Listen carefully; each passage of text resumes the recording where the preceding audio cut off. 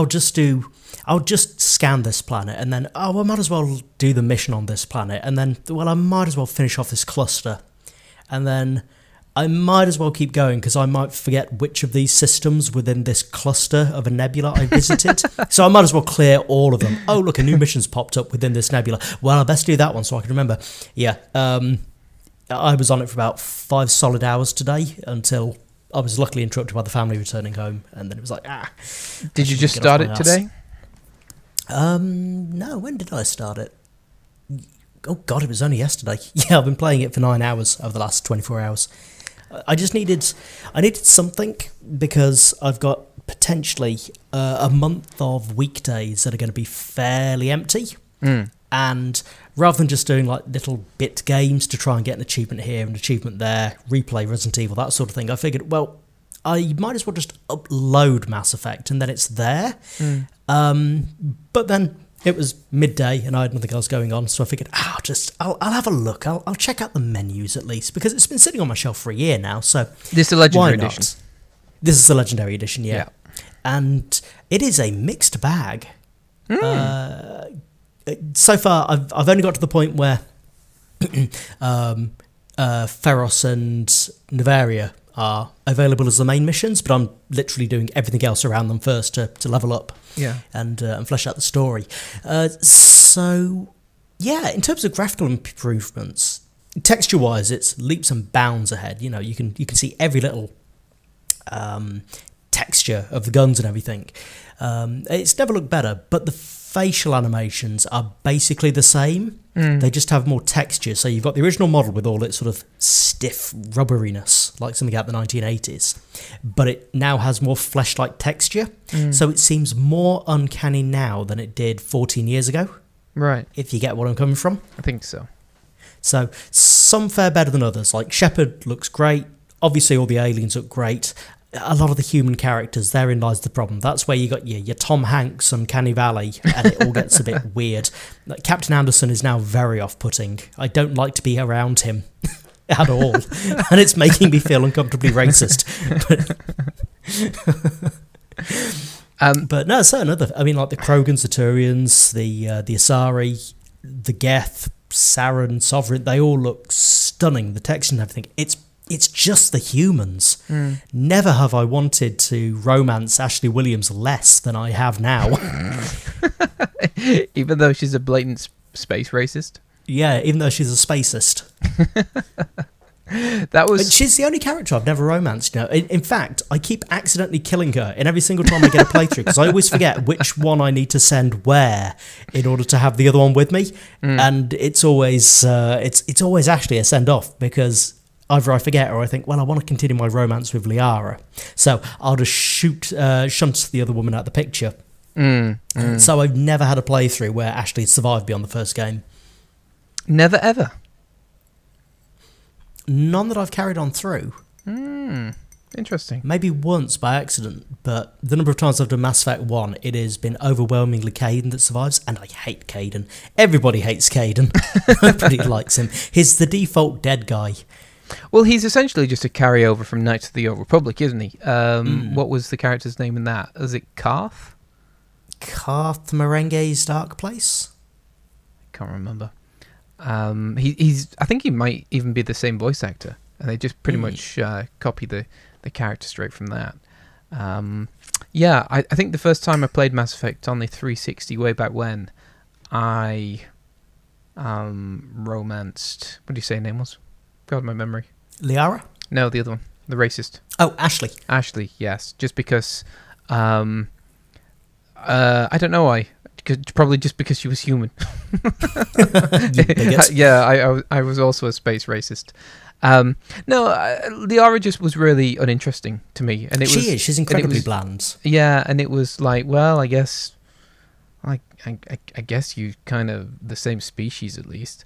Um, so it yeah, it was a toss up between two incredibly bland characters. Mass Effect Two was when they kind of.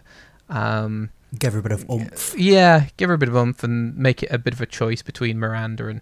Uh, no, she she's Liara isn't in the second one until the DLC, She- is she? I think she she's in it peripherally She's in the, the DLC. as a yeah. non-playable character, and then she comes in for the Shadow Broker DLC. Yeah, and then they plonk her in three, and she's treating you like a messiah. Mm. Um, this is a massive callback to our very first episode. Officially, first episode, Yeah, yeah. yeah, yeah. Was it our official, or was it second? Might even be third. It, well, it's our second episode, but the first one was episode triple zero, the pilot. Is that one? No, no, no. The pilot. Oh no, you're right. It's our second episode. First episode was whining about The Simpsons. The Simpsons being terrible. Two years later, we're still right.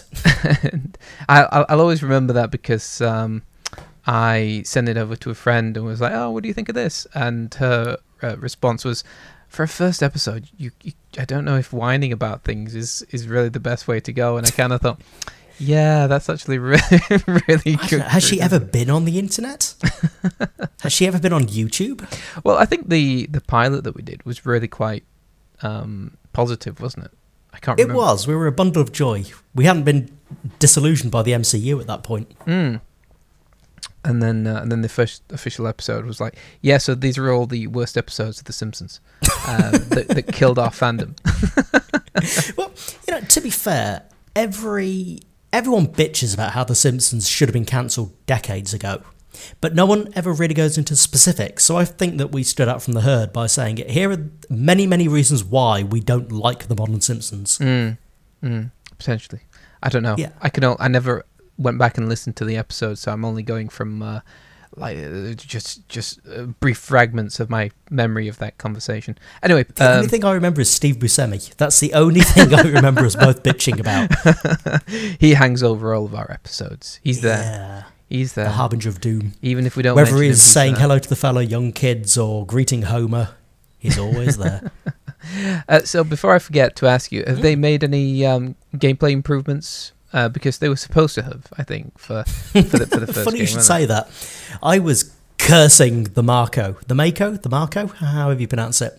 Let's call the whole thing off. Yeah. Yes, let's call the whole thing off. Um, the thing that handles like a shopping trolley in a bouncy house. Yes. It is. They've had 14 years to work on it, and it's worse than ever. I got myself stuck in a ravine and had to quit the mission and go back in because I just couldn't get.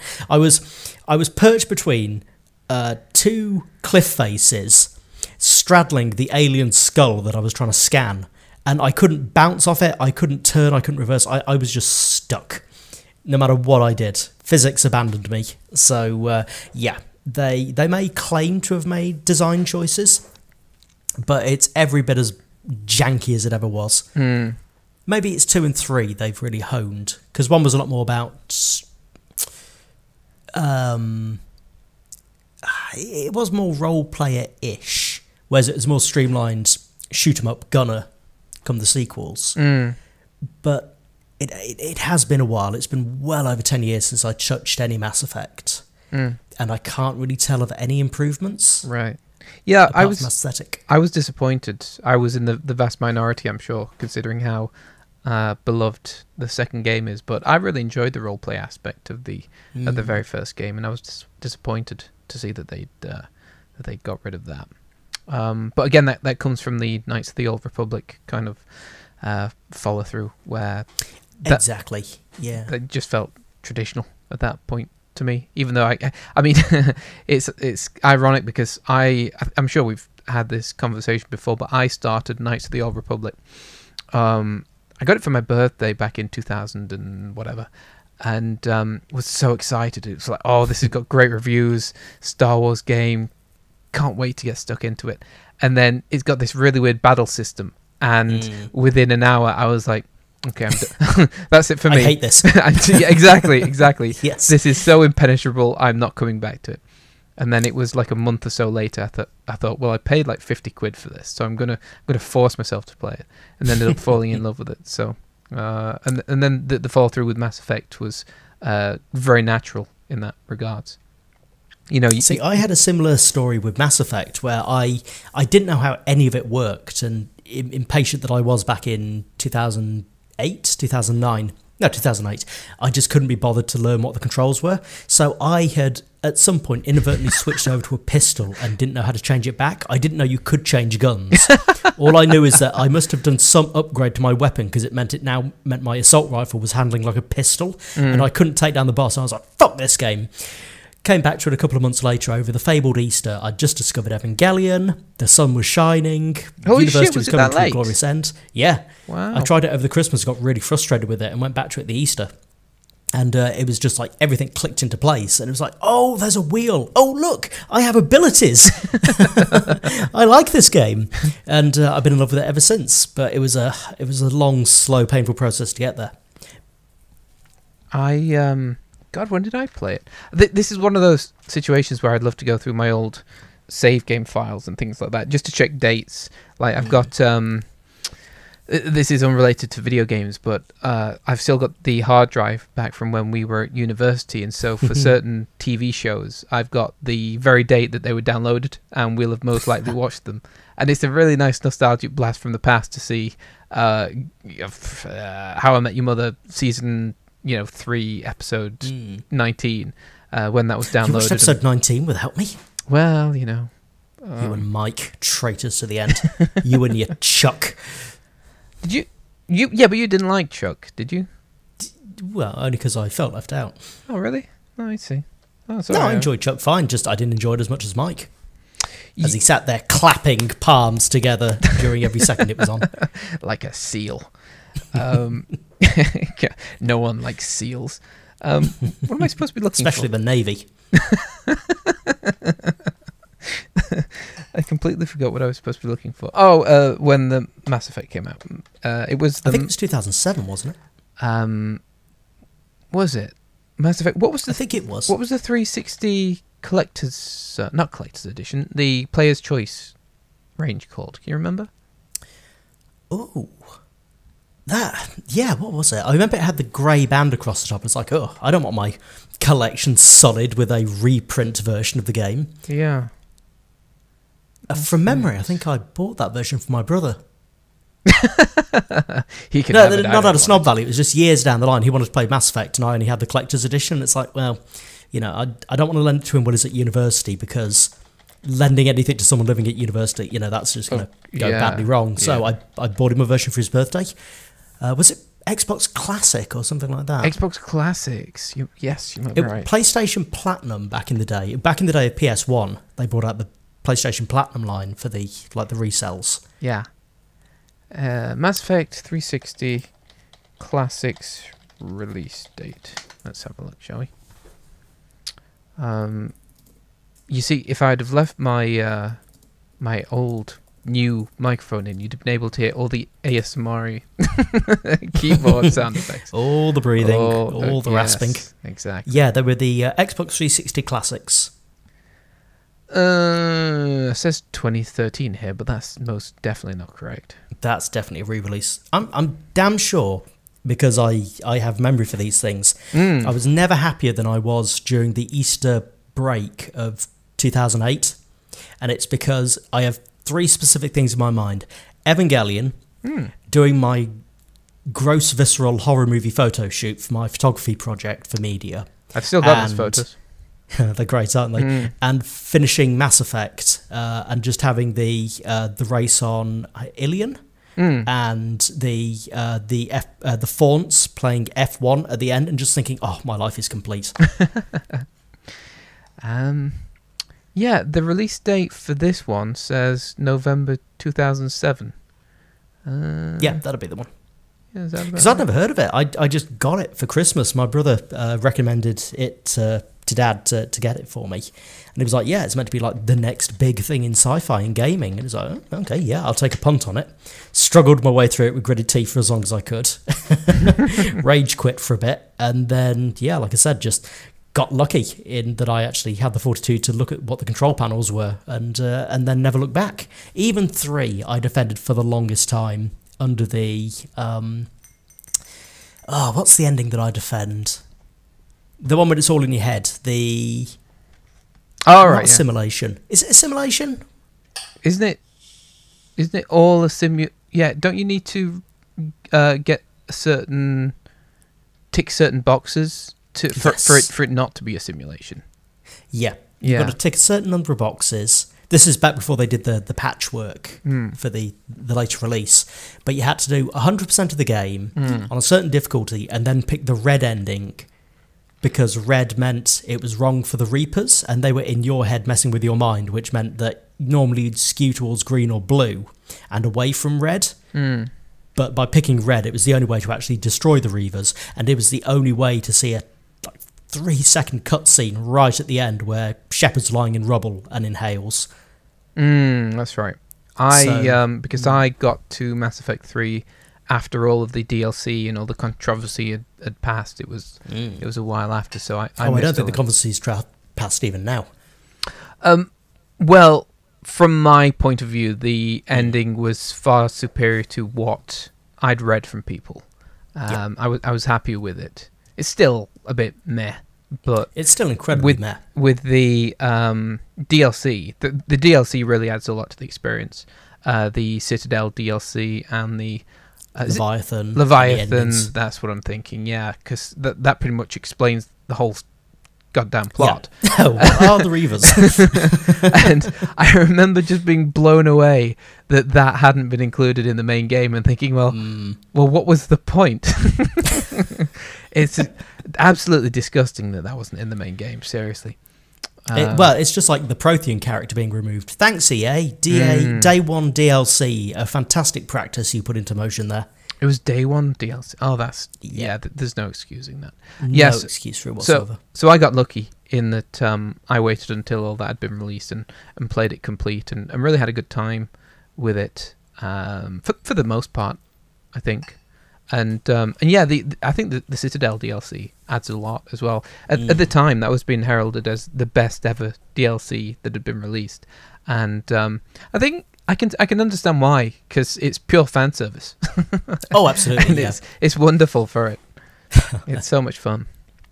Um, but I'm, I'm, looking forward to getting back round to that, but I'm not going to play the games back to back. It No. break me. It's far too much. Two alone is daunting at this point.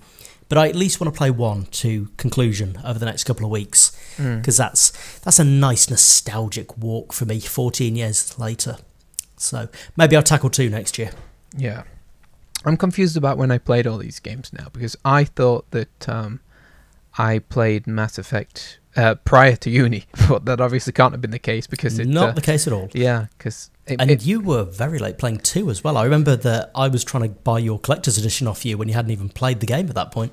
and that's actually backfired. So what happened Mm. for people listening is that I play. I must have played one around about the same time you did, or maybe even after university.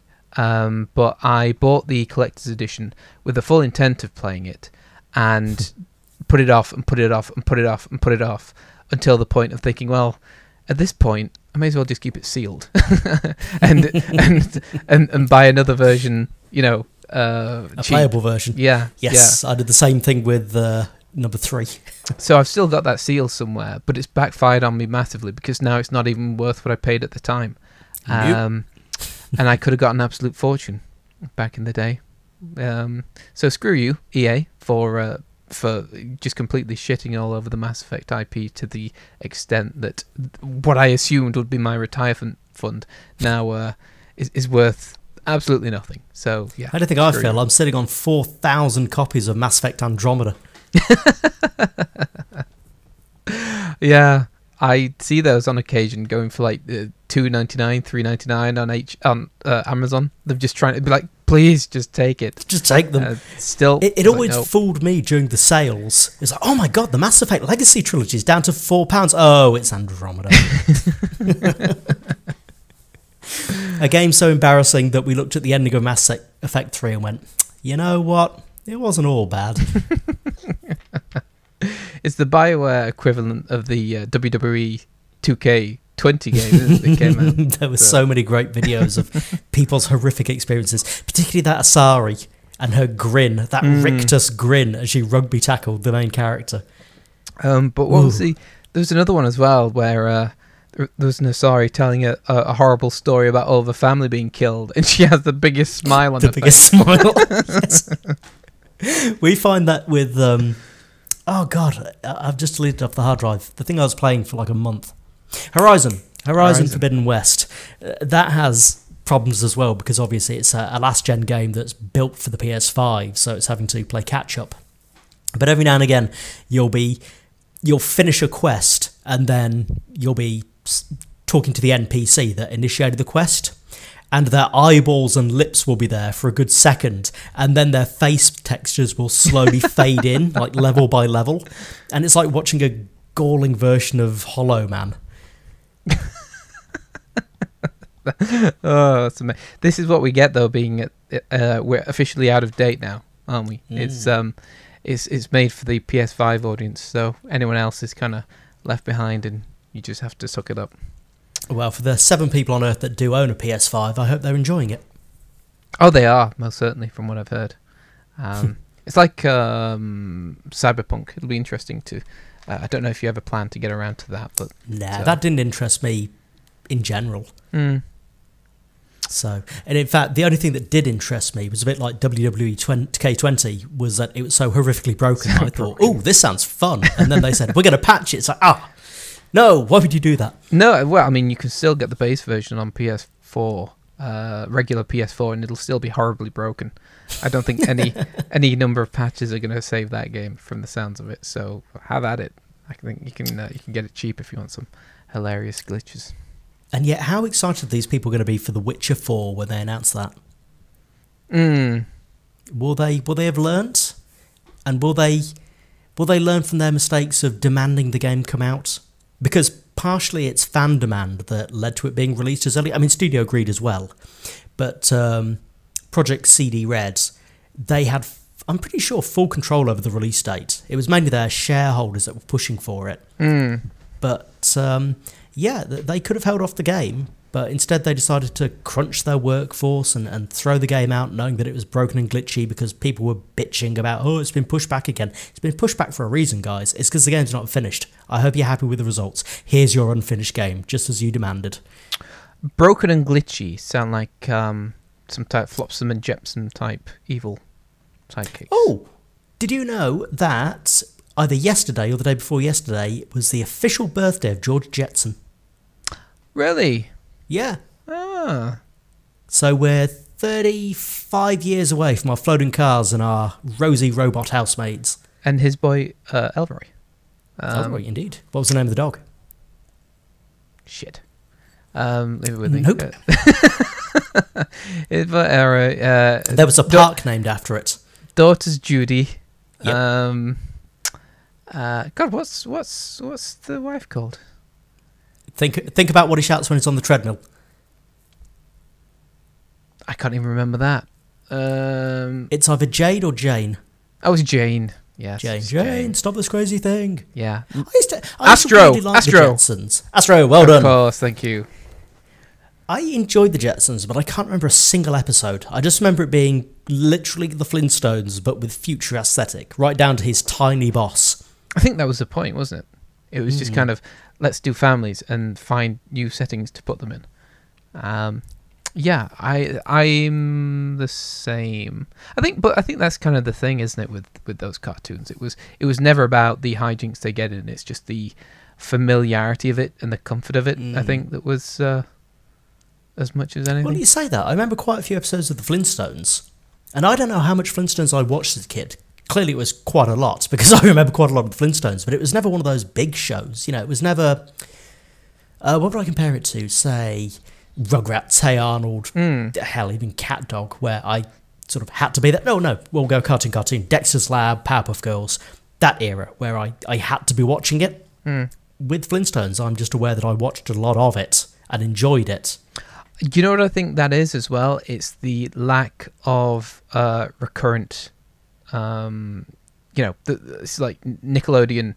You get home and at, at home after school, and four o'clock is Rugrats, and half past four is Hey Arnold, and then five o'clock is Six o'clock is Sabrina. six o'clock is Sabrina, and there's that consistency to to watching it, but also you, what you're not really aware of as a kid is that there are only about uh, what 20 episodes to a season, and so Mm. within a month you've gone through a full season, and then you're like recur- you're, you're just trudging through these seasons endlessly, watching them time after time after time after time, thinking I could have swore I saw this like three months ago, and it's because there were only three seasons of Rugrats out or something. Yep. But as a kid, you're happy with that. I feel sorry for my parents who, you know, had memories. and were forced to watch the same. Luckily, Mum likes Sabrina, but I think there's a limit to even how much you know Mum enjoyed Sabrina, having to watch it again and again and again. Mm.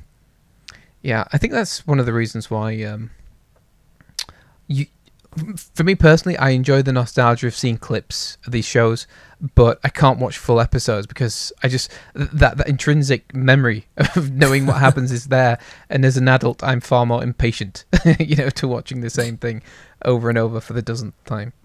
Really? Does that extend to Simpsons and Futurama? Because me and my brother can just sit down and watch a season of The Simpsons end to end and laugh at the jokes that we know are coming up in 20 minutes.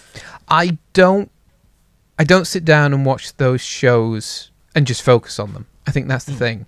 Um, in fact, I texted you a couple of weeks ago, I think, didn't I? That I was sat down eating, watching The Simpsons for the first time mm. in, in years. And that's the only kind of situation I think where I would watch them again is doing something else.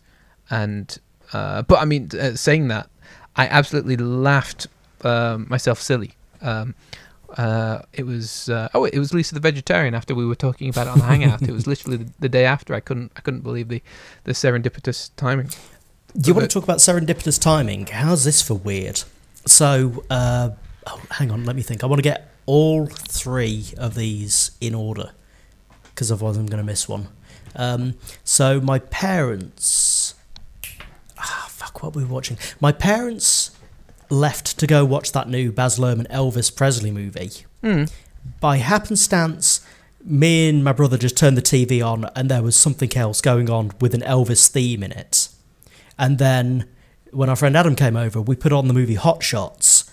Which, uh, not Hot Shots, uh, Top Secret, which is mostly a piss take of Elvis, and none of it was planned. No, it just happened that everything we watched uh, or was going on that evening was Elvis themed. Elvis It was really weird.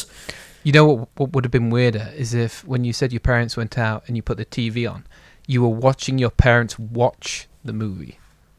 Oh, that'll be soon enough. That'll be the new Gogglebox 2.0. Yeah, that'd be. I actually I quite like that premise. Just just for no reason, just you turn the TV on and it uh, it follows your parents around, and it's like who is who is who's doing this? How are they doing this? How are they? I think it would just make me sad. Love them though I do. it, would, it would just make me profoundly sad. Okay, well that's one way to look at it. I was thinking of it more horror horror film aspect, but uh, I suppose you could also be, you know, depressed by it too. Yeah, my my life is a horror film. I don't need to add existential crises to it. Speaking of, um, we've got Resident Evil playing. Uh, a a speed run from who is it? Let me let me get the name of the. Uh, is it going to affect the? It will. Just a second. It will. Oh no, screw it. It's, it's from whoever. It's in the description. Thank you to uh, the person in the description. For Thank you very much. Um, shall we jump on the uh, Resident Evil? Um, oh, let's do. Let's round off Resident Evil month part two. Can I um, get some. Uh, uh, do you have a final word on the Netflix show? Has it? Has ruminated yes. on it anymore since our seven-hour breakdown the other day? Uh, that's it. That was my final gurgling scream. Ah, I see. I see. Um, there was something that I forgot to mention, and I was like, "Oh, I'll, I'll have to just throw that in there." And now, as is tradition, I cannot remember. Is it that it's getting a season two? No, it was it was just an observation about something uh, that I thought was really quite pertinent. Now I can't remember. Oh, is it that Billy's adult self is Korean? No, we went through that enough on the show. Mm, mm. Um, just wanted to make sure we didn't miss that. God, that's really frustrating. That's going to annoy me. Anyway, it'll come back to you. It won't, but I'll pretend it will. Um, welcome to Raccoon City. Then um, I got fun and games. I mentioned on the R and R but for people that haven't been through all seven hours, I'll I'll kind of repeat it here. Um, so after finishing the final episode of the Netflix show and just feeling utterly depressed and um, devoid of any hope, I figured, well, now's probably as good a time as any to to, to put on Welcome to Raccoon City with with my hopes. Their long game plan all along. It was with my hopes and expectations on the on the floor and uh, dash to the rocks. So uh, yeah, I put Welcome to Raccoon City on and was surprised at that I actually quite enjoyed it. Um, a lot of flaws, a lot of very obvious flaws, um, but I was just happy that um, it looked. Uh, the, the, there were things about it that were familiar and of a Resident Evil, um, you know, that that were um, recognizable from the first game and the second game, which I, I couldn't believe how satisfying that felt after after how many Paul W S Anderson films? Six. six, six, six of those films and the full Netflix series, and I was just like, I don't care if the dialogue shit. I don't care if it's if if Wesker is. I don't even know what Wesker is, and Jill's black, and Leon's uh, uh, like from the Middle East. I don't care. There's a mansion. There are zombies. I'm I'm I'm I'm happy enough. It's fine. Um, so yeah, I, I came out fully aware of its faults, but having had a pretty decent time. Uh, Matt, you you you re- you watched it today, I think, didn't you? I did, yes. It's how I kickstarted my morning. Ah, what, what do you think? So, I'm I'm going to go from an even more kind of like long-winded journey into this. So, off the back of the Netflix series, this week I watched Top Secret, a David Zucker film from the late 80s, early 90s. So funny, but we're not exactly talking cinema- cinematic masterpiece here. Hmm. Then Scary Movie. And then last night I watched Stephen King's The Mangler, a film about a haunted laundry press, starring Robert Englund and Ted Levine. And that film is a trip in and of itself. That's how I started this week. That's quite a And so- collection of films. Exactly. So going through all of those to Welcome to Raccoon City, like you, I was I'm gonna initially delighted. I spent the first half an hour at least of this movie really sucked into it. Hmm. And that's not to say that characterization is particularly good because it's not. The one thing that has been very consistent in every single adaptation of Resident Evil outside of the Capcom animated films has been a complete fundamental misrepresentation of the characters we know from the games. Mm. I could overlook all of that. I could overlook all of the incredibly ham fisted expositional dialogue. Like the trucker telling Claire Redfield, What were you dreaming about anyway? Why are you going back to Raccoon City? Yes. Oh, yeah, that's right. Your twin brother's there from when you were in an orphanage, and now he's a cop, and you want to go see him because of some secret mission. It's like, oh, God. and yet, um, the atmosphere. This is the first time in in every single adaptation of Res Evil that we've watched that it felt like at least somebody cared and Yes. somebody was trying. Exactly. They could have tried harder. could have tried a lot, a lot, lot, lot. Could have got an actual scriptwriter on board. They could have got an actual script writer on board. That would have been nice. Um, but in terms of atmosphere, it was it was a horror film. Mm. It, it was pretty lazy in terms of just predominantly being jump scares, but they were scares, Mm. and it was soaked in atmosphere. The lighting was good. It was there was a lot of key jingling. You know, it, it seemed like there were a lot of props for the sake of having props, like the keys, the dolls, certain aesthetic choices were there purely to just be uh uh see the games Yeah. but that is light years ahead of anything that we've had. When you compare them to the, the Paul S. Anderson films, which are absolute train wrecks, but entertainingly so, if you just pretend they're not Resident Evil, they're just really dumb, fast and furious zombie movies. Exactly. And then you've got the Netflix show, which is just wrong. Often painful, frequently wrong. This did feel like a, a step in the right direction. They just didn't. They just didn't have the confidence to make that leap. Yeah. But it was so nice seeing things I recognised: the Spencer Mansion, the uh, the RPD, and that's not that we're not people that are member berry-ish or Hmm. like James Cameron. That came to mind, you know. And then the lights come on, and then I see things, things I recognise. You know, I'm not caught out on that kind of crap. Mm. But the very fact that they'd gone to the, the effort that they had to actually include things that they had showed there was some level of attention and detail. Hell, the, the Spencer Mansion, when they first step into the mansion and it's an almost shot for shot replica of Yes. the mansion from the first game, I was like, oh, be still my beating heart. They didn't do enough with it, but the very fact that Capcom gave them the blueprints of the mansion so they could map it out and redesign the house from scratch. Mm. Oh, just yes, I want there to be a sequel. I may not care about these characters, and we'll get into all the faults with the film shortly. But in terms of what I got- right, it was a horror. I liked the music, um, the the the non-diegetic music. That is, there were some good songs in there, um, but they were quite intrusive. Mm. The horror was cheap at times, but by and large, it balanced out. Yeah, at, at Um, least at least it tried. Was was my and it and it had ideas and things. Uh, I- Mm. I, I I actually thought the first thing it does with the um the family next door to Chris was really effective. Yeah, I was super impressed. I thought, okay, shit, this is this. They're actually going for it here. This is such a nice turn of pace. It Um, was, wasn't it? The idea that the whole town is being slowly poisoned, Yes. essentially, and over the years they've just been abandoned to essentially. That, watching the end credits, some of them are listed as Chernobyl zombies, just you know, Oh, wow. fallout radiation sickness, how they sort of described it. But Mm. yeah, I like that idea that this town has been slowly poisoning itself. And what I also like, usually it's it's a bit of a cheat when they have on-screen text telling you things, but the way they um what am I trying to say?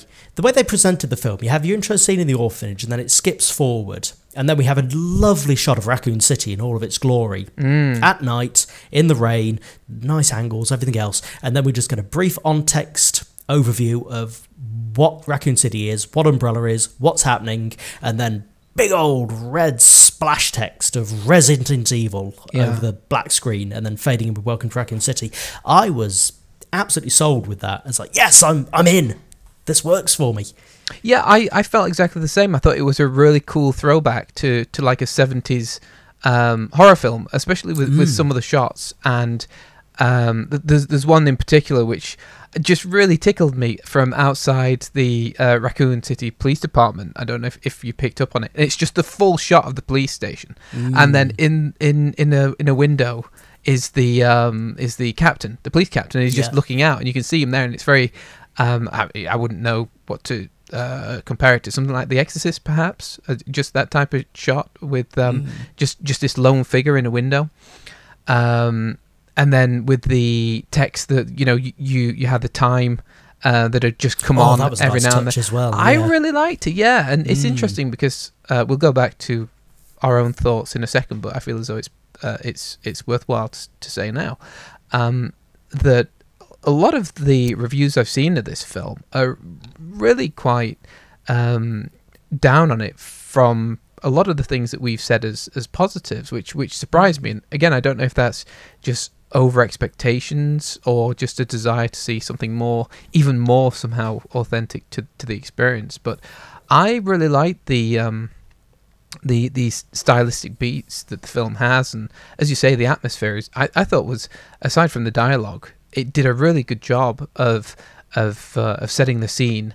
And this always there's this feeling of foreboding always um, that is difficult to do but I really quite found it effective where not only do you have something like the um, the clock come up every now and again and and they um they sorry I should say that, oh something else that was really effective is the siren that starts at the beginning of the film and then, and then you're like oh god this is really really creepy That felt like Um, a good throwback to Silent Hill. mm.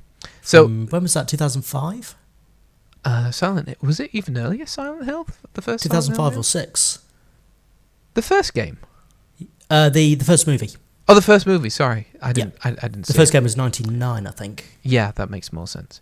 Um, but just to there's there's nothing really to spoil in the film, so I don't think we're we're in trouble of uh, spoilers for anything because um, if you well, it doesn't even really follow the games, but it's kind of it's very by the numbers of, of, of what happens. It's Mm. exactly what you'd expect. But um, so the film starts out, and Cl- Claire Redfield is looking for a brother, and she's going back to Raccoon City, and she's inve- investigating Umbrella. And then everything just kind of seems to kick off all at once, where um, is it, is it Birkin the the doctor? I'm terrible with the periphery Uh, yeah, William Birkin. names. Yeah, um, who ha- has ties to uh, to Claire and, and, and Chris and all that kind of thing. But that that's that was forced. I didn't think that was necessary. But, Yeah, And- I wasn't a fan of that, but what can you do? and and especially at the end, I was just like, where where's all Mm. this come from? this is like forty You're minutes. no father figure to me. Yeah, this is forty minutes of a film we've not had.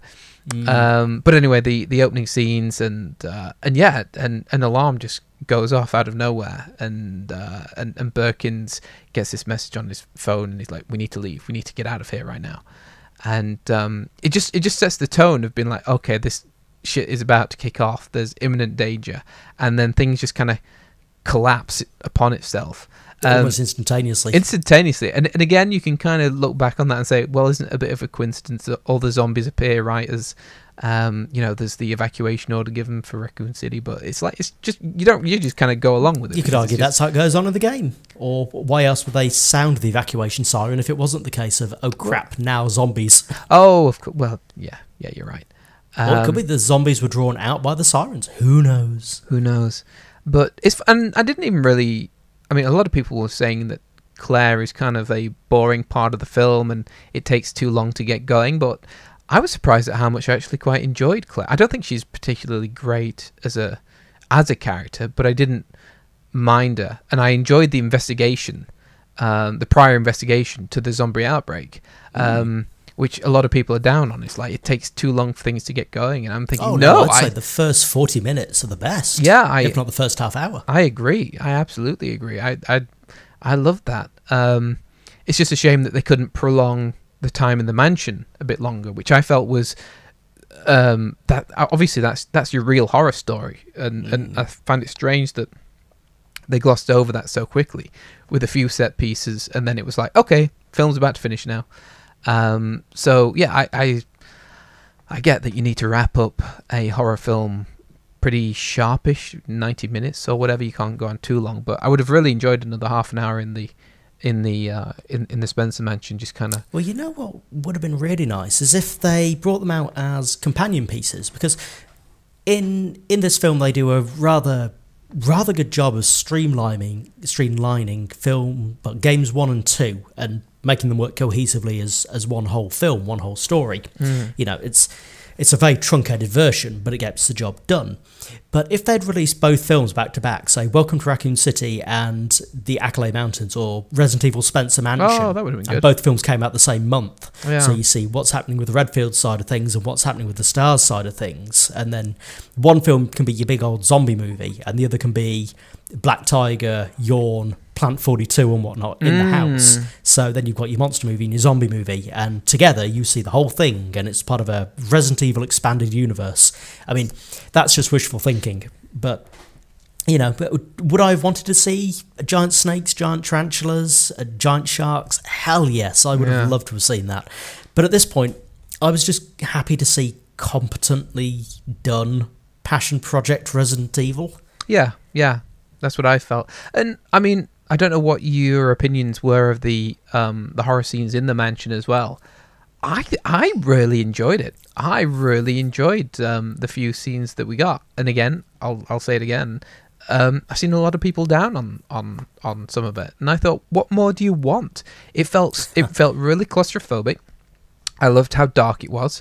Um, the, there are a few convenient moments where you think, okay, well, Chris is definitely dead there, but, Hmm. and he doesn't.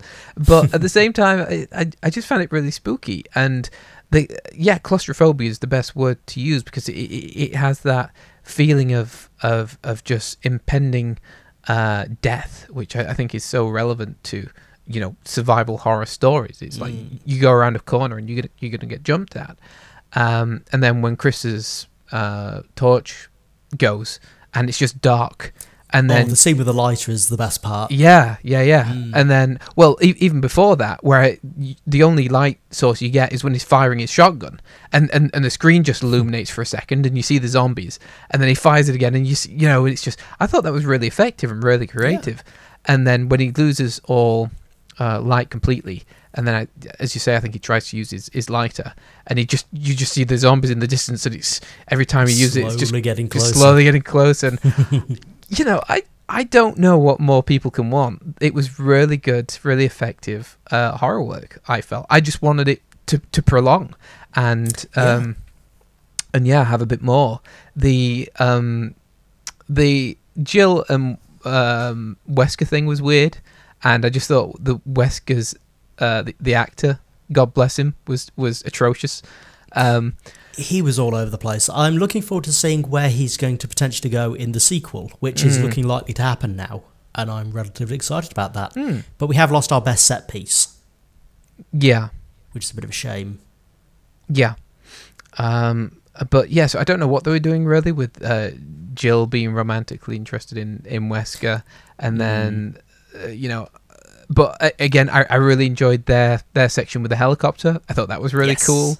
Moonlight Sonata, done right. Ye- exactly, exactly. Take uh, notes, Netflix. Um, yeah, I it, it, it falls apart in the last ten minutes. That's my Mm. only major crit. Well, I mean, other criticisms is what they do to Leon uh, and Jill, which just it's just a coincidence that they happen to be the um, well, no Wesker as well. and Claire, We- Claire Claire's a bit of a bitch, but I mean, and not Barry.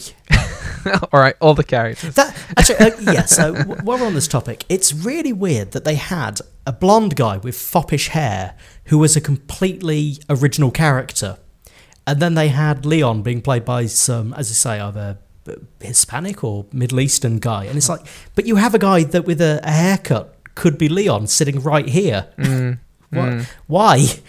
Um, that that was odd. Yeah, they the worst part about this film, apart from Lisa Trevor, um, were the characters who were just remarkably inconsistent. I mean, it, they weren't true to the the game characters pretty much at all. Although I felt Chris did a pretty good job. I really like Chris. I'll be honest. I thought he was the best of the bunch. Um, and Jill, I quite liked once I, you know, you you can't see them as- see them as video game counterparts yeah.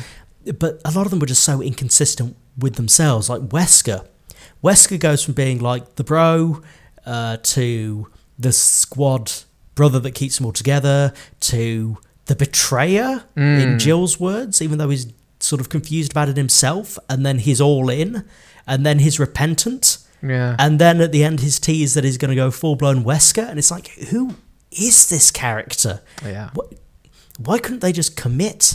Because I was watching the special features, and there's a lot of. Usually they say, "Oh, you know, I played the games and whatnot," unless you're Lance Reddick, who's never even heard of Resident Evil. But you know, everyone seemed enthusiastic. A lot of it was probably just the the crap you've got to generally say on these things.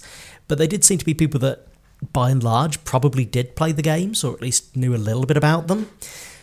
So it's just so odd they went with these character choices. And um, I, I got annoyed when they introduced Jill, not because of the, the race changing, because that's part of the course these days, but because it was another case of modern strong woman. And modern strong woman means complete asshole. Mm. She she softens as the film goes on, but as we're introduced to her, she's a cocksure, arrogant, can't do wrong bitch. she, she totally dominates the room, doesn't she? She, dominates the room. She is the alpha in that uh, in that scene. yeah, without even trying. And you think there's there's a good way to write strong women, but they're all written exactly the same. Same as Claire. Claire barrels in and she just dominates every scene and she's putting everyone in their place. She knows best and everything else. And it's like these two characters are completely interchangeable. And you you can have strong women who are vulnerable or communicative or are nice. it's, you don't have to remove all of those aspects to prove just how strong they are. But uh, as I say, Jill, I warmed to as the film went on. Claire, not so much, because I don't feel that Claire softened in any way, and she was just angry and bitter and the best all the time. So there wasn't really anything there to, to latch on to. Her story doesn't make sense either, which No. which you know. I, I think we've kind of said we, we had very low expectations for this film, so we're letting a lot slide. Um, it, but it, it is it's one of those films where the more you think about it, or, or even at the time, you're just like, wait, what? Um, like at the beginning, um, Birkin just for some reason decides that no, we need- we need to get rid of her because because she's she's snooping too much or something. This this eleven year old, and and they kind of escort her away, and then we find out later, mild spoilers, that uh, that they've been um, uh, experimenting on on children, and then you're thinking, so wait, what? They they they went to take her to experiment on her, but you never tell us how she gets away or where she goes or there's this massive chunk Or of why she never came back for Chris. Exactly. or or yeah, when when did she and Chris reunite? And um how are they, you know, is there no lasting tension or something? Or you know just these a lot of questions that that get glossed over as if it's just not an issue. And it's it's very strange but um it's at the same time as I say it's not like we're overly invested in these characters to, to, to make that a point. It's it's the spectacle of the situation that is uh, that is, is is what this film kind of focuses itself on, and I think that's maybe where um, people are not getting the satisfaction from this film that I think you and I both are. In that we're we're looking, we- we've gone through so much shit that we're, we're more than happy to look past the faults of the characters because it's the environments essentially i Mm. guess that we're kind of looking for. And um and it it, it, it does those really well. Um i like the um you mentioned the spencer mansion but also the uh the, the police department is just exquisitely realized from the from from the games. It, it looks outstanding.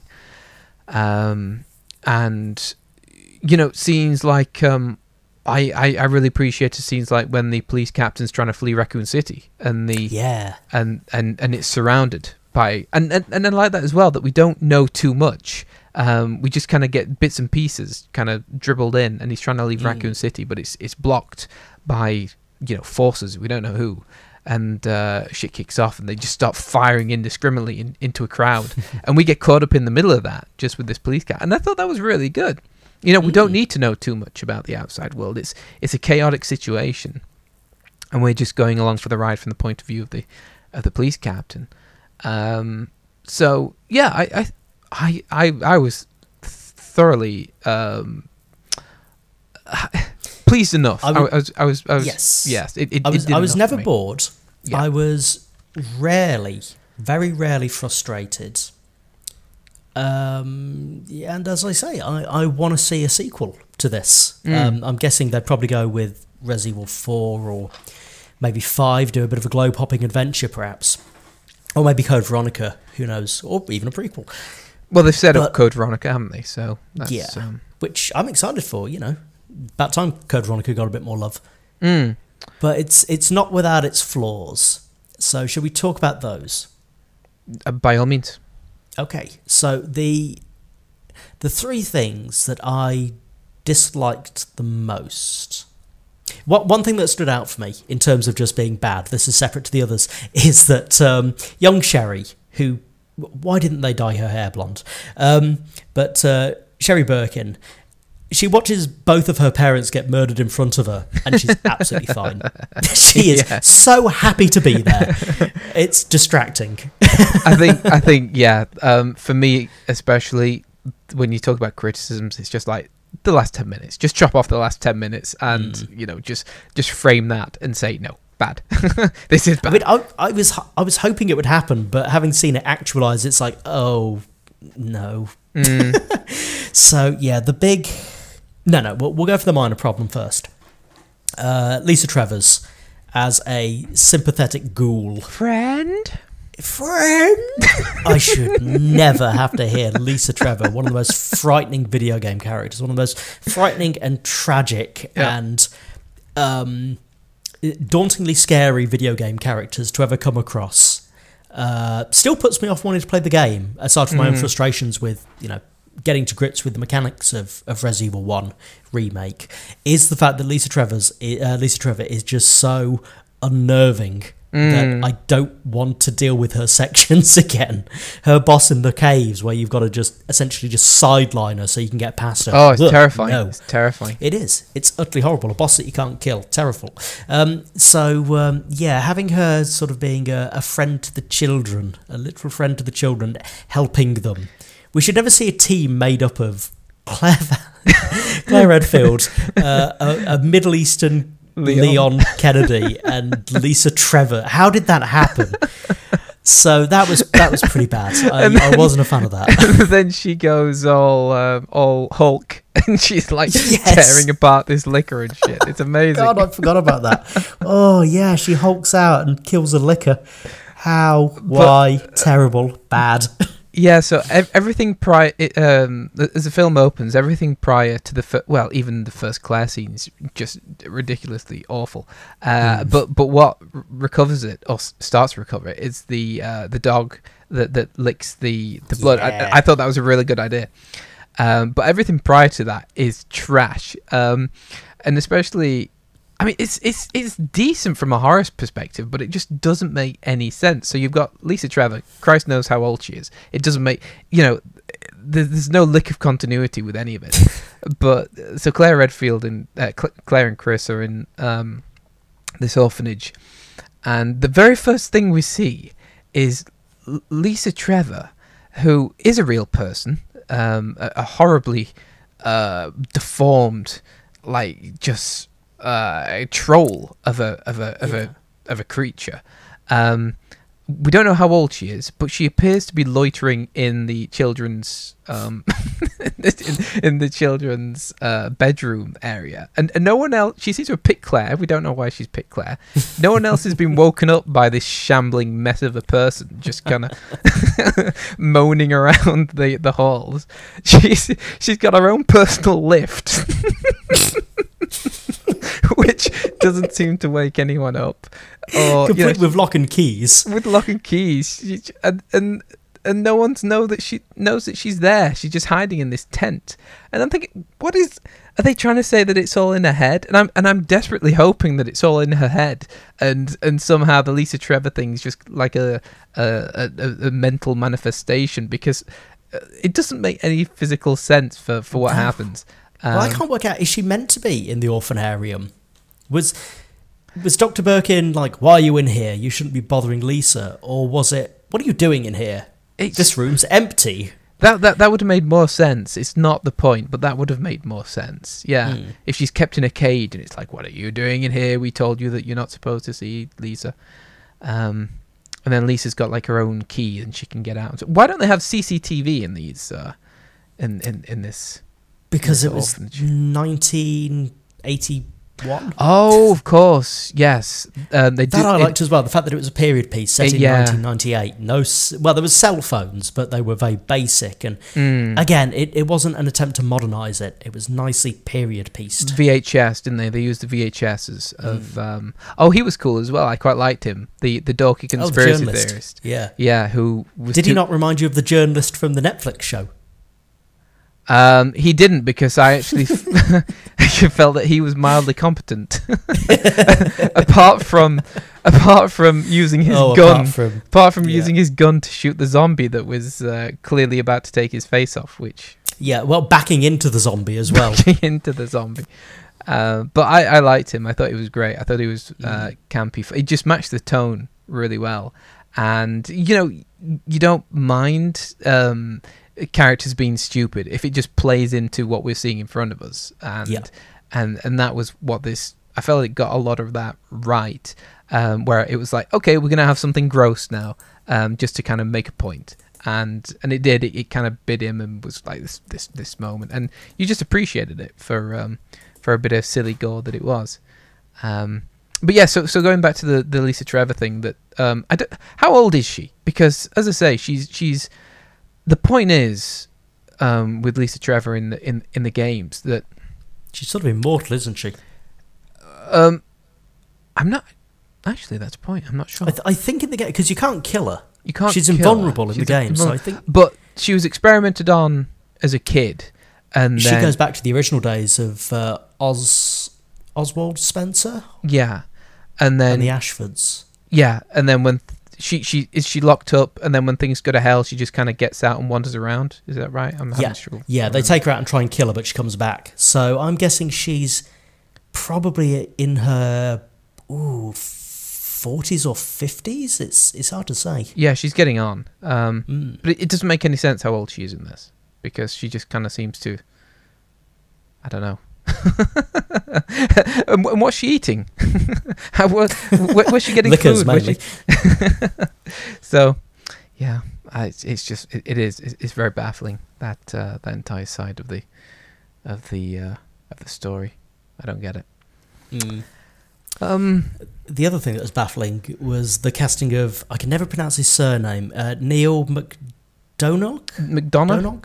McDonough, Yeah. who he's one of those actors who should not be allowed to act. Every now and again, he'll turn up in something good. Like he is great in Justified, but then again, that show can make greatness out of anybody.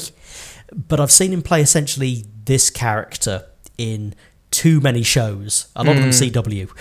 Um, he's perfectly fine at what he does, but he shouldn't be doing it in a Resident Evil movie. And he's he's okay during the first chunk of the film, but the moment he goes full on Dr. Isaacs circa Resident Evil Oh, Extinction, God, and he terrible. starts cackling and oh Chris I raised you like a son and now I am the monster and all this kind of nonsensical dialogue um, uh, the G the G two is it? No G one. G one as it is in the game. Uh, the G one form looks ridiculous because his head isn't merged into the eyeball and shoulder. It's just his head with bigger ears with a big old monster prosthetic hanging off his right arm. And it's like oh I really wanted to see this and you fucked it up. Mm. he looks terrible. Um, and and he just keeps talking. And sad as it is i actually think that um, oh god i forgot the name of the actor but um, what's his name uh, dr isaacs jacob isaacs Oh, in the right. resident evil movies Um, was yeah. better at it and not quite as cringeworthy and that's saying something Yeah, I don't necessarily think it's his fault. It's just uh, McDonough's fault. It's just it's just the lack of sense that that Mm. entire section makes. Um, it just comes out of nowhere, completely out of nowhere, and I I just can't figure out for the life of me why they didn't just have him be a, a shambling monster creature that's trying to um, kill everyone. They need to bring all this stuff about Chris into it. That's you know Chris Chris has got no backstory in this film. Well, that's it. They're trying to give him an arc, aren't they? Mm. It's like, oh crap, we forgot. We didn't give him any story to work off of. Um, we'll just interject this scene about, oh, when you left, uh, Dr. Birkin raised me like a son. And then an hour and a half later, I was like a father to you. Bam! Mm. I'm an orphan. Yeah, it's weird. It's uh, it's it is. It's the worst part of the film. Just n- not even in a fun way. Like the Lisa Yeah. Trevor's just is just silly and ridiculous. It's This just bad. It drags it's out the bad. movie. Yeah, it does. The other thing that was bad, my, my last major gripe, was the the G5 stage that attacks the train. Mm. That oh god, what were they thinking? Why did they give it a, a monster face? Because in in the game, it's just basically a giant blob with tusks, teeth, and eyeballs, and that's it. Mm. And this thing looked like something out of I don't know, haunted mansion or some early day CGI monster. It, it reminded me of something, but I couldn't quite put my finger on it. But its monster head was so distractingly bad with its LED eyes. Well, it's I can't work out what they were going for with it's that. worth saying that all the CGI in this film is horrendously bad. Mm. it's just it, it, it is from 20 years ago. It's, it's straight from uh, the first PlayStation. Um, yeah, it's, it's it's really bad. But no, I, I do agree with you that um, I don't know what they were thinking to be honest. Just as as a set piece as well, um, because I felt the the worst thing to say or, or that you can say about that last two minutes on the train is that we saw it in the first Resident Evil film, and I thought of all the things to rip off from the Paul W S Anderson films. Well, it's from the end of the Resident Evil 2 remake. Yeah, but uh, do something different. You know, there's. I, I would have thought. Um,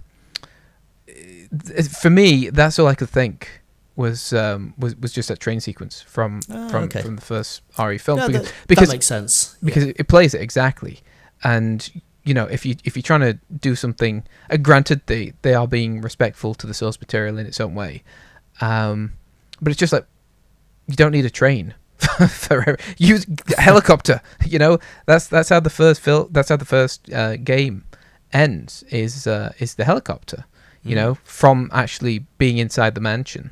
Um, how cool would it be just to fight through the mansion one last time? Uh, if there's a there's a bomb about to go off in the in the uh, in in in- the mansion, and then they're kind of fighting their way to get to the roof or something, and and they get someone on the radio that that can uh, pick them up, and uh, you know just just just more in, in that regard, considering that Yeah. Chris and Jill, I think is it Chris, Jill, and Claire? Oh, and, and Leon, I suppose. Yeah, And Leon. yeah. Um, but I don't know. But the Um, was it terrible? It was. It the, none of the special effects for when the house actually blew up made any sense as well, did it? That that all looked really ridiculous. Yeah, that that looked very dated as well. Um, I couldn't quite work out what was going on. Because No, I couldn't. In the background, you could see a plume of fire, but it was buried behind the trees. So I deduced that the city had been bombed. But it just seemed very odd that it seemed like something had gone off within the mansion to self-destruct. it. Yes, exactly. Uh, yeah, and I think that's something that they didn't really think too much about because they they, Mm. they were fighting against time from Raccoon City being nuked, but then the house implodes. I think, and you're just kind of thinking, should there have also been something to tell them that um, there was a self defense mechanism within the house as well? I don't know. Uh, but that, that's just one of the problems of, of mixing the two stories, I suppose. it's it's quite rushed, Mhm. and it's a shame when you consider how much time wasting there was in the eight hours of the Netflix show, and then Oh, they God, tried to cram as much of this uh, of these two games into a less than a two-hour runtime, and you think, oh, just such wasted potential there. Mm, mm. If it had been the other way around, this could have been like the potentially one of the best things on Netflix at the moment. You know, again, not stellar because the writing isn't great, but maybe if they had more time, they wouldn't have to have you know relied so much on exposition. yeah. Um, whereas, well, not to say anything else about the Netflix show ever again, but yeah, missed opportunity. But in many ways, it's it's good because it means that we have essentially two hours of very mostly tight directing and action and atmosphere, and you know, it all works. Maybe if it had been dragged out, they wouldn't have done anything but stretch the budget and uh, and ruin what this movie had going for it. Mm. Yeah. But yeah, yeah, it was certainly it was it was delightful. I I couldn't believe I was actually enjoying a Resident Evil property for reflecting the Resident Evil franchise. just for doing the simple things and not even necessarily Yes. doing them well, but just doing the simple things. That's how that's how far we've fallen in our Mm. expectations of these things. I mean, it Uh, could be that this be a film I'll go back and rewatch it in a couple of months, year, couple of years, and think, oh god, this is awful. Why did I ever think that? And it's just it was the perfect storm of you know watching the the original six films. Netflix and then a bunch of other crappy horror movies this week that just made it really stand out as, as elevated material. Well, I feel the exact same way. You know, this this makes. In fact, I think I texted you the same thing. Uh, this film to me makes the uh, feels like the Lord of the Rings adaptations after just finishing the Netflix show. Um, so yeah, um, uh, that's. I think that's something that um, along the lines of what I was going to say earlier with regards to the Netflix show that I meant to say on the on the uh, R and R is just to stop and think about the ridiculousness of that series. We're in a we're in a we're in an entertainment world at the minute where it feels as though um, the surreal is just being treated as normal. Um, whereas years and years ago, there were trash ideas uh, that, that that you'd hear about being drafted uh, by studios and things, and you think, "Oh God, that's that just sounds so weird." Thank God that never happened. And we're in a timeline now where these ridiculous um, proposals are being greenlit just because th- Netflix needs content and Disney Plus needs content. But I was thinking, like, you know, we've spoken about it before the James Cameron Spider Man films from the 90s, and you read through Yeah. the, the synopsis and you think, wow, what an absolute train wreck this was. Thank God this was. Could you imagine this being made? Or the Tim Burton Superman films, and you go, can you imagine a universe in which these were made and this was considered Superman and this was considered Spider Man? And of course, people Mm. had the, the better sense and, and they were never greenlit.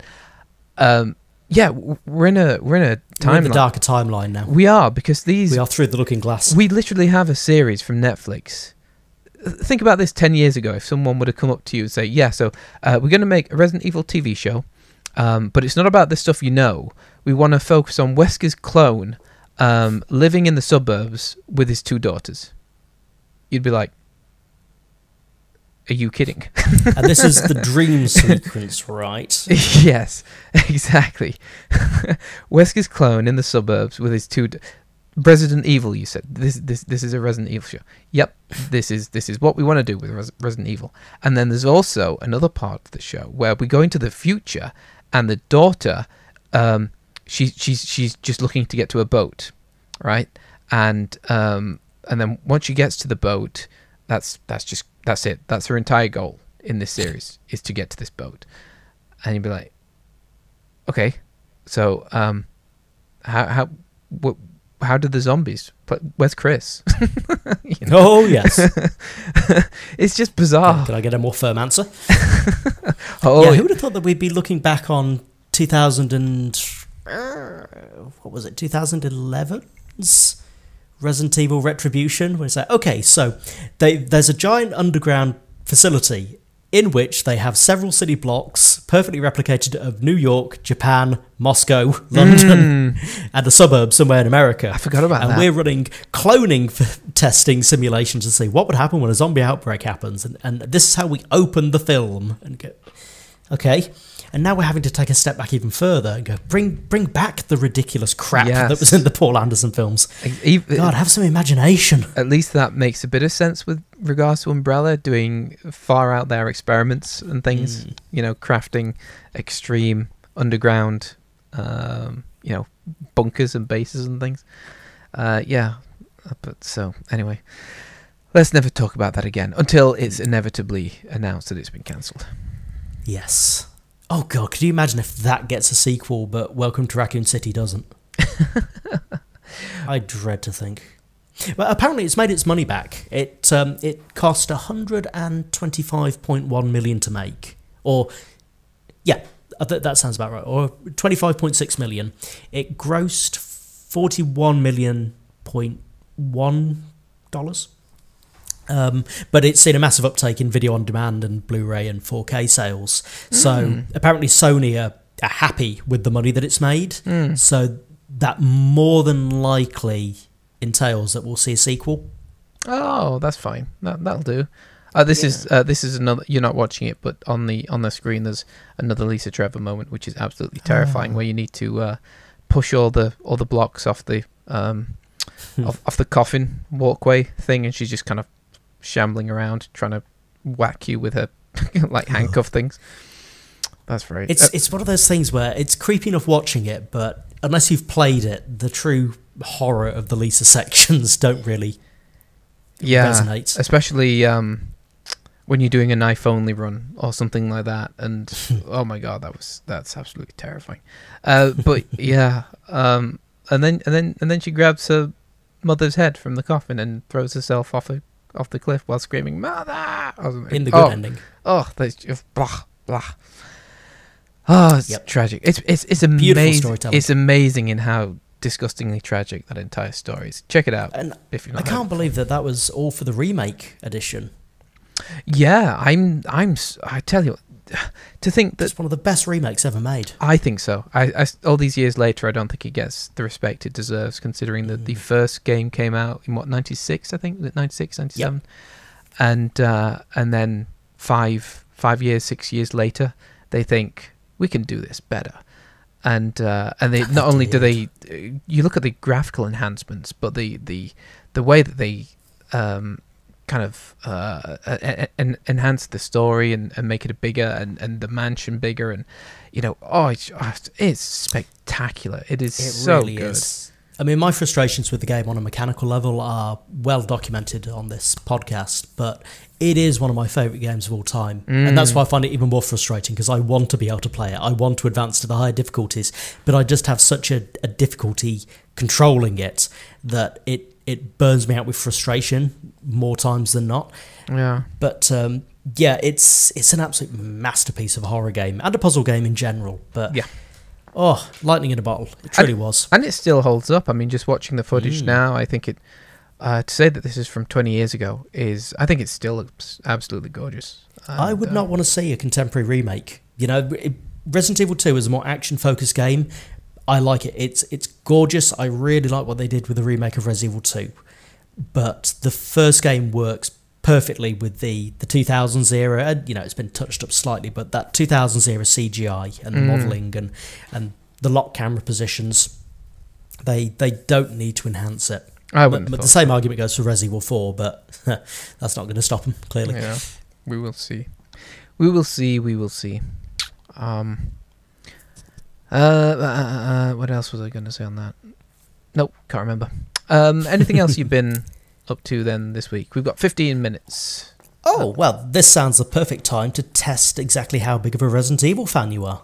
Oh no. I have found a quiz Oh no. based no. pretty much around the games. It's not a podcast. we can't do quizzes. We're on the Hangout. We only do quizzes. Of course we can. on the podcast. All right, go on. Then. All right, so question number one Mm-hmm. Resident Evil 2 and 3 take place in what city? Badger. I- Badger. Well, we uh, we have a choice of four, so I can give you the four answers options if you'd like to hear them. Okay, yes, please. Is, is this a Bud, Okay. BuzzFeed quiz or anything? It is not actually. Um, okay. I went to BuzzFeed, but I couldn't find a decent one. This is proprofs.com quiz school playlist. Oh, okay. The Resident Evil Ultimate Exam. Let's do it. So Bring it. your choices are Detroit, Raccoon City, Invilis, and Cthulhu.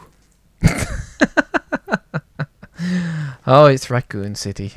Hey, congratulations. Hooray. I'm amazed I got that one. Question number two: Who was the sole suv- Who was the sole surviving member of Bravo team? Rebecca, Jill, Claire, or your mother? It may just be Rebecca. It is Rebecca. It's Rebecca. Oh my god. What does STARS stand for? I can give you the uh, the list of options. We have Go on then. I, I can't wait to hear these. Special Tactical and Rescue Squad, Mm-hmm. Special Team and Recon Soldiers, Ship Tasters, All Right Sir, and some actual stars. Ah, I think it might be the first one. Indeed, it is. Wow. Next question: Who was the traitor in the first Resident Evil? Chris Redfield, Barry Burton, Albert Wesker, Barack Obama. Dum, bum, bum, bum, bum. Um, what, weren't Barry and Wesker both traitors? Technically, yes, but Barry with the good ending can walk it back. Okay, well, it's, it's Wesker then, I suppose. Wesker was doing it because he was a dick. Barry was doing it because his daughter was being held hostage. So Oh, but you can use that excuse for anything. that's true. I do it all the time whenever I need my bank to give me a loan. Mm. what does the T in T virus stand for? Tyrant, Titan, Typhoon, or Tank? Uh, s- uh, tyrant, sure, surely. Indeed, it is. I, I just had a I had, a, I like a brain melt for a second where I was like, "That's that's. Are you sure it's not That's too I- obvious, I, I don't. Th- uh, yeah, but yeah. Sorry, Karen. Okay, so who says, What are you buying? Jack Krauser, Albert Wesker, Leon S. Kennedy, or Merchant? It's the merchant, of course. It is Stephen Merchant. okay, here's here's a good one. To gain the ability to control the Veronica virus, hmm. one must undergo treatment or cryogenic sleep for how long? 15 days, 15 months, 15 years, or 15 weeks? Oh wow, I, I, I don't know this one. This this will have to be a guess. Um, I never played Code Veronica, so It's very good. I. You played Code Veronica? I have, yeah. Ah, when? Back in the day. it's, It's got a really strong reputation to it. I, I played it uh, a couple of years ago. Oh, okay. Um, bu- bu- bu- fifteen years. I don't know. Indeed. Ah, I thought it might be. Congratulations. Thank you. Okay. In Degeneration, who was the company that had the T virus vaccine? WilPharma, Tricell, Umbrella, or Toyota? Is it Tricell? Unfortunately, not. It was WilPharma. But you're doing pretty good. That was the first incorrect question. Is Uh. Tricell from Resi Five? Um. Oh, I definitely know Tricell. I must be getting it. Tricell was. T R I. Is it T R I C E L? Yeah. Uh, Uh, double L. uh, double L. Oh, would you believe that there is actually a Tricell? Tricell is a global engineering company headquartered in Killarney Island. Interesting. So they're the true umbrella of the planet. Yeah. need to keep Yes. our eyes on them. Yes. Right. Tricell. Um. Structure. No, I just want to know the game. I don't. I'm not interested in its history. Just tell me the game it's in. oh my god. Uh, Resident Evil? Yeah. Uh, uh, uh, uh, yes, uh, 2009. It must be Resi 5. Yeah, that'd be five. Yeah. Sorry. get back on five. Um, right, so what do red herbs do? Nothing. Amplify other herbs. Heal you. Get rid of poison or increase overall health. Oh, it's one of the last two. Is it um? Oh, is it blue? It's the blue and the red, isn't it? That uh, one of them extends health and one of them gets rid of poison. It Mm. is. Which herb do you use the least? Uh, The, apart from those bloody snakes. That garden section, man. oh no, this this is a guess. I couldn't say. I, my mind's gone blank. I'm gonna say um, poison.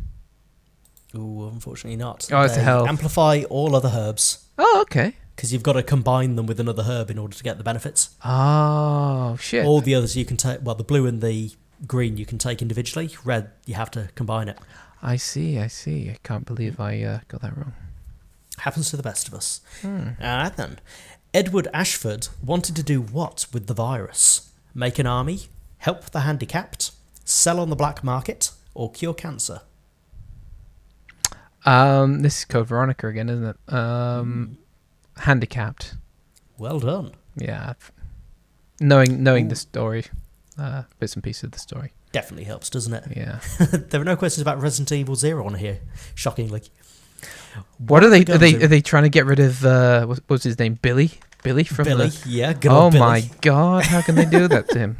Billy actually uh, was it Billy, the, the cop that gets eaten by the the zombie that gets up and turns around. You know, the classic Mm. first zombie. Uh, the character in Welcome to Raccoon City, he was the the lead character that um, oh, what was his bloody name? Like it wasn't Birkin because obviously it's Barry Birkin, but um, yeah, the the cop that's being eaten is a, a character from Resident Evil Zero. Oh, okay, that's cool. That's good. That. Yeah. So, uh, next question is One of the guns in Resident Evil 4 was named after another game. What was its name? Dead Rising, Final Fantasy, Assassin's Creed, Killer 7, Broken Butterfly. Uh, Broken Butterfly. That's what I thought as well. No, no, no, no, it's 7. Killer Seven. Of course, it's Killer Seven. Oh, I got red. Oh, I got red herringed because I was going to say uh, Killer Seven, um, because that is a Capcom game, and then I thought, Mm. wait, no, that's not a real gun. But the Broken Butterfly definitely is. So I got, I It, got, it comes I got into done there. games, definitely. Yeah. Well, balls. you could pull it back on this one. How many members of STARS are there? We've got 14, 12, 15, 11, or 13. Oh shit. Well, that's quite tricky, really, isn't it? Tricky one, isn't it? You gotta. I guessed this one correctly. Oh wow. Um. So you got the group that goes in there initially, Mhm. that all die. Um, one, two. Uh, how how many did you say? Sorry, 12, 13, Uh, 14, it's 15, f- between 12 and uh, sorry between 11 and 15 11 and fifteen. Um, what is it for? One, two, three, four, five, five, twelve. unfortunately it was 13 Ah! unlucky for some when being hunted down by a nemesis. I demand to know all their names. uh, there was becky. There was flublicon there was ranch burger. Cabinet. Jill the other becky and eight chris's Ah, okay. mm. That- including I- chris wesker I only, I only, I only counted the seven Chris's. That's where I went wrong. yeah that's where you messed up yeah. Well, who knows? You could pull it back on this one. When we dare to ask you, Spencer was killed by whom? Wesker, Chris, Jill, Hunk, or Chuck Norris? It may have been Wesker. It could indeed. In good old Resident Evil Zero. What is the only weapon in Resident Evil 5 that can't get infinite ammo? The MP5, the rocket launcher, the M9, the grenade launcher, or the AK 74? No, this is way out of my wheelhouse now. It's been too long. Um, uh, can you repeat them? Yep. The MP5, Mm-hmm. rocket launcher, M9, grenade launcher, and AK 74. First one. Ooh, unfortunately not. It's the grenade launcher. The grenade. The gren. What? Yep, you can't get infinite ammo on the grenade launcher, Why? and yet the rocket launcher you can. I'm gonna say that's. I would have. I would have thought. oh, Out of all of them, the grenade launcher. You can get infinite ammo know. on the first game for grenade launcher. I think Baffling, isn't it? that's very strange. This one's an easy one. What is the only continent that a Resident Evil has not taken place in? Asia, Australia, Europe, Antarctica, South America. Uh, the only continent it's not taking place in. Um, I'm gonna say Australia. Well done. Yeah. Alexia turned her father into what boss? The Tyrant 001, Nemesis, U3, Nosferatu, or the Leech Queen? A lot of Resident Evil Zero questions cropping up now. Hmm. Um. Uh. What would so repeat them again for me, please? Uh, the Tyrant 001, Mm-hmm. Nemesis, U3, Nosferatu, and the Leech Queen. Is it Nemesis? Unfortunately, not. It's Nosferatu, the Bat. I Not too many of these left now. can't remember that. Yeah, it's the uh, the fight with the bat in the bell tower. It's a pain in the ass because you're having to deal with a boss that can fly out the screen. Hmm. One of the many quirks of Resident Evil Zero. yes. The best game in the franchise. The Resident Evil iconic enemies that were mutated lizards were called Hunters, Lickers, Neptune, Cerberus, or Plant 42. Hunters. Well done. Yay. STARS members are given what pistol? The M9, the Glock 17, the Blacktail, the Burst handgun, or the Samurai Edge? Oh shit. Um. Samurai Edge, I think, is the gun that you get when you complete it totally, isn't it? Um, ooh, I think so. I think it's the ultimate gun. But is that the? Is that what they mean? Is that only given to STARS members? Like, congratulations, you're officially STARS for completing the game on hardcore. Here's your Samurai Edge. Well, yeah, I suppose not in that case. Um, uh, can you go through them again, please? Sure. M9, hmm Glock 17, Blacktail, Burst handgun, Samurai Edge. I'll go for the Glock. Let's go with that. Oh my god, the Samurai Edge. I guess It it is, is like the Samurai official Edge. pistol. Oh god damn it! Ah. Ooh. Here's a good one. Resident Evil 4 is on how many systems? One, two, three, four, five, or all of them? All of them. well, five is as high as it goes, and that's correct. um, yeah, I was gonna say it's on GameCube, PS2, uh, PS3, PS4, PC, PC. Uh, it must a be on. box with a bit of cellophane strapped over it and a battery plugged into the back. Yeah, it must be on the Xbox. I would have thought. I don't think it was. I, I think it. Is it even? I think it might be on the Xbox One, Yeah, but it definitely didn't come to the Xbox or 360. is five the number? Yeah. Yeah. Okay. So it may be a bit outdated, but at the time. All right, two questions left. How many living, breathing characters do you see in Resident Evil 2? Ooh, that's a tough one. Oh wow. 10, 13, 15, 17, or 19? No idea. No, just put anything. I've no idea. Uh, give me a number between 1 and 5. Four. Correct. 17. Hooray! Hooray! I knew that all along. All along, you clever, clever boy. And your final question.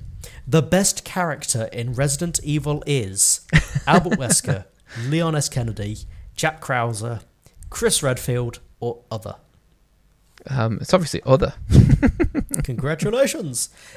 Okay, so you got 62 out of 100. I don't know Oh. what that relates to in terms of correct. Hang on. No, One, that's- two, three, four, five, six, seven, eight, nine, ten, eleven, twelve out of 20.